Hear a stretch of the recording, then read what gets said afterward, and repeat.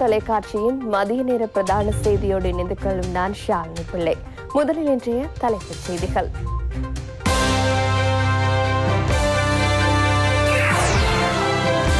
ஜனாதிபதியாக பதவியேற்றதன் பின்னர் முதற் தடவையாக தலதா மாளிகைக்கு ரணில் விக்ரமசிங்க விஜயம். சர்வ கட்சி அரசாங்கத்திற்கென இருநூற்றி இருபத்தி ஐந்து பேருக்கு ஜனாதிபதியிடமிருந்து அழைப்பு. அனைத்தையும் விட மக்களே மேன்மையானவர்கள் என பிரதமர் தினேஷ் தெரிவிப்பு. புதிய கொரோனா திரிபு அவதான நிலையை அடைந்துள்ளதாக வைத்தியர்கள் எச்சரிக்கை. தொள்ளாயிரத்து அறுபத்தி இரண்டு எரிபொருள் நிரப்பு நிலையங்களில் ஒரே நாளில் கியூஆர் கோட் முறை அமுலுக்கு. ரஷ்யாவினால் கைதிகள் கொலை செய்யப்பட்டமை யுத்த குற்றச்சாட்டு என்கிறது யுக்ரைன்.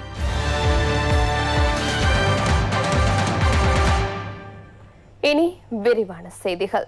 ரணில் விக்ரமசிங்க ஜனாதிபதியாக பதவியேற்றதன் பின்னர் முதற் தடவையாக ஸ்ரீ தலதா மாளிகைக்கு சென்று ஆசிர்வாதங்களை பெற்றுக் கொண்டுள்ளார்.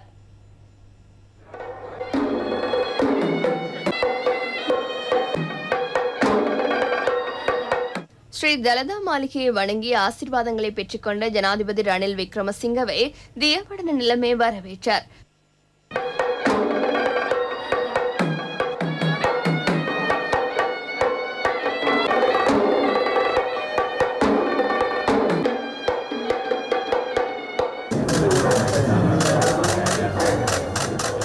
குறித்த சந்தர்ப்பத்தில் அமைச்சர் கஹலிய ரம்பக்வெல முன்னாள் பாராளுமன்ற உறுப்பினர் ருவன் விஜயவர்தன பாலித்திரங்கே பண்டார மற்றும் கண்டி நகர முதல்வர் கேசர சேனநாயக்க உள்ளிட்டோரும் கலந்து கொண்டனர்.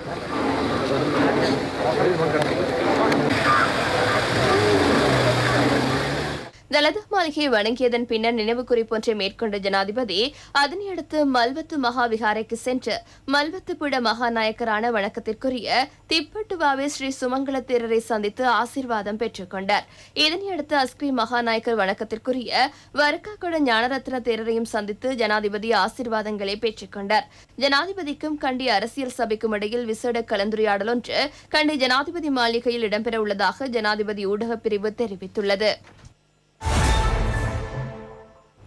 அனைத்து பாராளுமன்ற உறுப்பினர்களும் சர்வ கட்சி அரசாங்கம் ஒன்றுக்காக ஒன்றிணையுமாறு ஜனாதிபதி ரணில் விக்ரமசிங்க அழைப்பு விடுத்துள்ளார். பொருளாதார மற்றும் சமூக ஸ்திரத்தன்மையை ஏற்படுத்துவதற்கென தேசிய சர்வகட்சி வேலை திட்டம் ஒன்றை நடைமுறைப்படுத்துவது ஜனாதிபதியின் யோசனையாக அமைந்துள்ளது. இதற்கென அனைத்து உறுப்பினர்களும் ஒன்றிணையுமாறு ஜனாதிபதி எழுத்து மூலம் அழைப்பு விடுத்துள்ளார். நாடு எதிர்கொண்டுள்ள பொருளாதார நெருக்கடிக்கு நினைவாக உருவாகியுள்ள அரசியல் மற்றும் சமூக குழப்பங்கள் தற்போது படிப்படியாக வளமை நிலைக்கு கொண்டு வருவதற்கென அரசாங்கம் கடும் பிரயத்தனங்களை மேற்கொண்டு வருகிறது. இதற்கமைய உரிய பொருளாதார மறுசீரமைப்பு வேலை திட்டம் ஒன்றை நடைமுறைப்படுத்துவதற்கென முதற்கட்ட திட்டங்கள் வகுக்கப்படுவதுடன் பொருளாதார ஸ்திரத்தன்மையை ஏற்படுத்துவதற்கு தேவையான ஆரம்ப கட்ட நடவடிக்கைகள் எடுக்கப்படுவதாகவும் ஜனாதிபதி குறிப்பிட்டுள்ளார். எனினும் சவால்களை வெற்றி கொள்ள பாராளுமன்ற உறுப்பினர்கள் அனைவரினதும் ஒத்துழைப்புடன் கூடிய வேலை திட்டம் முன்னெடுக்கப்பட வேண்டும். பொதுமக்களின் விருப்பமும் அதுவாகும். இதற்கமைய பத்தொன்பதாவது அரசியல் திருத்தம் மற்றும் பாராளுமன்ற மேற்பார்வைக்குழு முறை ஆகியவற்றை மீள கட்டியெழுப்புவதற்கு விரிவான வேலை திட்டம் ஒன்றை ஏற்படுத்தி அனைவர் மத்தியிலும் இணக்கப்பாடு எட்டப்பட வேண்டும் என ஜனாதிபதி எழுதியுள்ள கடிதத்தில் குறிப்பிடப்பட்டுள்ளது.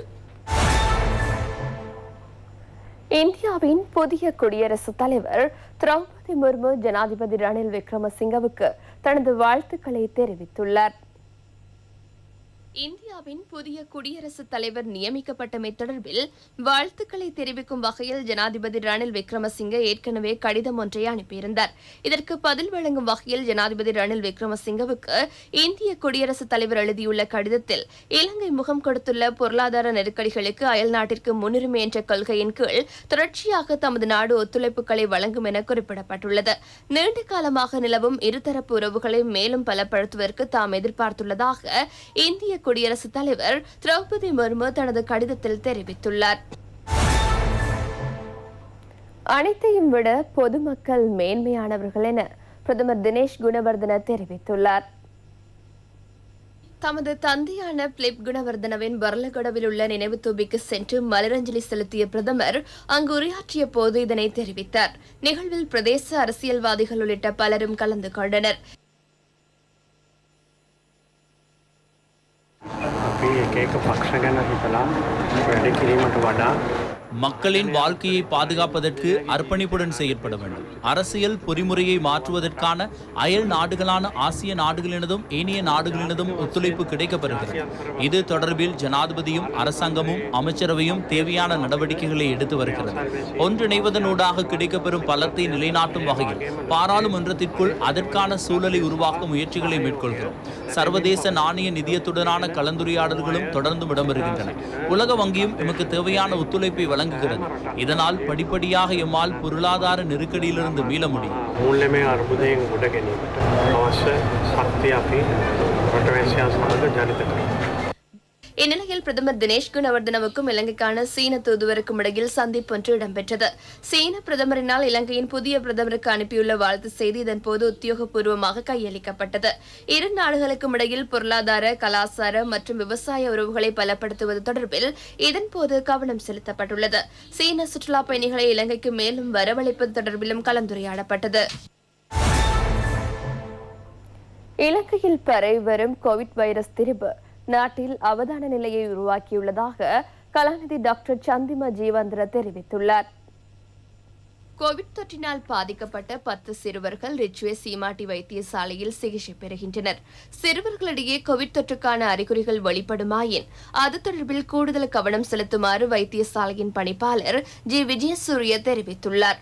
கோவிட் ரோகே சதா வர்த்தமானேதி சந்தேகத்திற்கிடமான நோயாளர்கள் மாத்திரமே பரிசோதனைக்கு உட்படுத்தப்படுகின்றனர் சிறுவர்கள் மத்தியில் நோய் பரவுவது அடையாளம் காணப்பட்டுள்ளது இதனால் பிள்ளைகளுக்கு நோய் தொற்று ஏற்படாமல் தடுப்பதற்கான பாரிய பொறுப்பு பெற்றோர்களுக்கு உள்ளது சிறுவர்களிடம் நோய் அறிகுறிகள் தென்பட்டால் உடனடியாக வைத்தியரை நாடுங்கள் அவர்களை பாடசாலைகளுக்கு அனுப்ப வேண்டாம் வைத்திய பிரதிகார லபாக நிமிஷம் தான் வைத்தியருக்கு உபதேச லபாக நிமிஷம் தான் காட்டித்துக்கிறான் எவனி தர்மம் பாசலவியும் வழக்கு என்ன பிஏ ஃபைவ் என கூறப்படும் ஒமிக்ரோனின் உபத்திரிவு உலகம் முழுவதும் வேகமாக பரவுவதாக ஸ்ரீ ஜெயவர்தனபுர பல்கலைக்கழகத்தின் வைத்தியபுடத்தின் ஒவ்வாமை மற்றும் உயிரியல் ஆய்வு பிரிவின் பிரதானி கலாநிதி சந்திம ஜீவந்திர தெரிவித்துள்ளார்.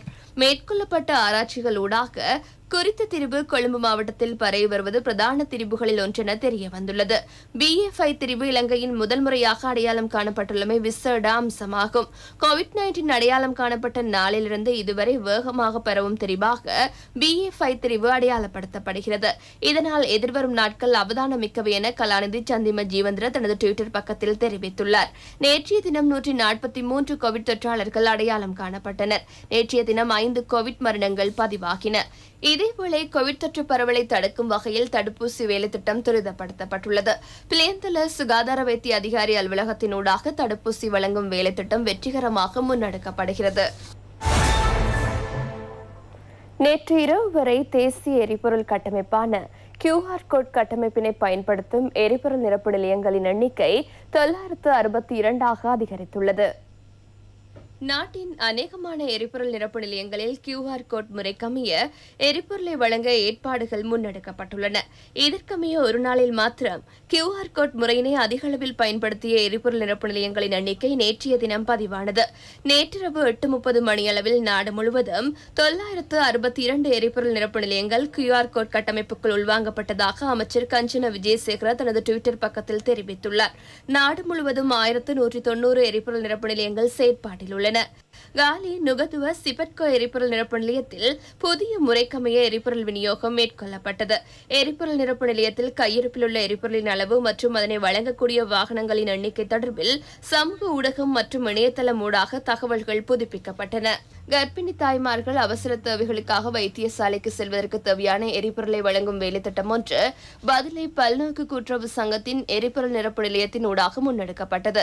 சிறுபோகத்தில் விவசாய நடவடிக்கைகளுக்கென விவசாயிகள் விவசாயிகளுக்கு தேவையான எரிபொருளை வழங்கும் வேலைத்திட்டம் ஒன்று கெபிட்டிபுல எரிபொருள் நிரப்பு நிலையத்தில் முன்னெடுக்கப்பட்டது. இந்நிலையில் வெளிமட பகுதியில் அனுமதி பத்திரமுள்ள விவசாய உபகரணங்களுக்கு மாத்திரம் பிரதேச செயலகத்தின் ஊடாக எரிபொருள் வழங்கப்பட்டது. கனிமுல்ல எரிபொருள் நிரப்பு நிலையத்தில் கியூஆர் கோட் முறைக்கமைய எரிபொருள் விநியோகம் வெற்றிகரமாக இடம்பெற்றது. எந்தவொரு பிரச்சனைகளுமின்றி குறித்த முறைக்கமைய மக்கள் எரிபொருளை பெற்றுக் கொண்டனர். பதுளை மாவட்ட மின்சார சபையின் மின் துண்டிப்பு பராமரிப்பு சேவைகளை வழங்கும் வாகனங்களுக்கு எரிபொருள் கிடைக்கப்பெறாததால் குறித்த பகுதியில் இடம்பெறும் திடீர் மின் துண்டிப்புகளை வளமை நிலைக்கு கொண்டு வருவதில் தாமதம் ஏற்பட்டுள்ளதாக தெரிவிக்கப்படுகிறது. இந்நிலையில் ஜாயல பிரதேசத்தில் எரிபொருள் நிரப்பு நிலையம் ஒன்றுக்கு அருகில் இடம்பெற்று வந்த மோசடி செயற்பாடுகளை தடுப்பதற்கு போலீசார் தலையிட்டனர். இதன்போது அதிக விலைக்கு விற்பனை செய்வதற்கென வைக்கப்பட்டிருந்த டீசல் மற்றும் பெட்ரோல் தொகை கைப்பற்றப்பட்டது. ஜாயல பிரதேசத்தில் போலீசாரின் தலையீட்டில் கியூஆர் கோட் முறைக்கமைய பல எரிபொருள் நிரப்பு நிலையங்களில் மக்களுக்கு எரிபொருள் விநியோகம் முன்னெடுக்கப்படுகிறது. ஆயிரத்து முன்னூற்றி ஐம்பது லிட்டர் டீசலை பதுக்கி வைத்திருந்த நபரொருவர் ஹோம்கம பிரதேசத்தில் கைது செய்யப்பட்டுள்ளார். தங்காலை ஊழல் தடுப்பு அதிகாரிகள் நடத்திய சுற்றி வளைப்பின் மூலம் டீசல் கைப்பற்றப்பட்டது. இரண்டு லட்சத்து ஐம்பதாயிரம் ரூபாய் பெறுமதியான எரிபொருள் தொகை வீடொன்றிலிருந்து போலீஸ் விசேட அதிரடிப்படையினரால் கைப்பற்றப்பட்டுள்ளது. கந்தரகால குளம் பகுதியில் கண்டுபிடிக்கப்பட்ட எரிபொருள் தொகையில் ஐயாயிரத்து ஐநூறு லிட்டர் டீசல் காணப்பட்டதாக போலீசார் தெரிவித்துள்ளனர். சம்பவம் தொடர்பில் ஹொமந்து பிரதேசத்தைச் சேர்ந்த ஒருவர் கைது செய்யப்பட்டுள்ளார். ஹெச்ரே ஆயிரத்தி நானூற்றி நாற்பத்தி நான்கு புனித முகரம் மாதம் தலைப்பை பற்றி தீர்மானிப்பதற்காக நேற்றைய தினம் கொழும்பு பெரிய பள்ளிவாசலில் நடைபெற்ற மாநாட்டில் தலைப்புரை தென்பட்டதற்கான எவ்வித தகவல்களும் கிடைக்கப்பெறவில்லை என தெரிவிக்கப்படுகிறது. அதன் அடிப்படையில் புனித துல்ஹிஜா மாதத்தை முப்பது நாட்களாக பூர்த்தி செய்து இன்று மாலை மகிழ்வுடன் புனித முகரம் மாதத்தை ஆரம்பிப்பதென விரைக்குழு மாநாட்டின் போது ஏகமனதாக தீர்மானிக்கப்பட்டது. சம்மந்துறை ஆதார வைத்தியசாலையின் கண் சத்திர சிகிச்சை பிரிவின் வசதிகளை மேம்படுத்தும் வகையில் அதிநவீன கண் சத்திர சிகிச்சை உபகரணங்கள் வழங்கப்பட்டுள்ளன. சம்மாந்துறை மக்களின் நன்கொடை மற்றும் சம்மாந்துறை முஜா பேக்கரியின் வழிகாட்டலில் கிடைக்கப்பெற்ற இரண்டு கோடி ரூபாய் நிதியில் கண் சத்திர சிகிச்சை உபகரணங்கள் கொள்வனவு செய்யப்பட்டுள்ளன. இவற்றை உத்தியோகபூர்வமாக கையளிக்கும் நிகழ்வு வைத்தியசாலை அபிவிருத்தி குழுவின் தலைவர் டாக்டர் இஷடின் தலைமையில் வைத்தியசாலை வளாகத்தில் இடம்பெற்றது. நிகழ்வில் சுகாதார சேவைகள் பணிப்பாளர் நாயகம் டாக்டர் அசேல குணவர்தன பிரதம அதிதியாக கலந்து கொண்டார். அவரினால் சத்திர சிகிச்சை உபகரணங்கள் உத்தியோகபூர்வமாக வழங்கி வைக்கப்பட்டன. கிழக்கு மாகாண சுகாதார சேவைகள் பணிப்பாளர் doctor A R M Thowfeek உட்பட முக்கியஸ்தர்கள் பலரும் கலந்து கொண்டனர். இத்துடன் நமது மதிய நேர பிரதான செய்தி அறிக்கை நிறைவு பெறுகின்றது. எமது அடுத்த பிரதான செய்தியினை இரவு எட்டு மணிக்கு எதிர்பாருங்கள். வணக்கம்.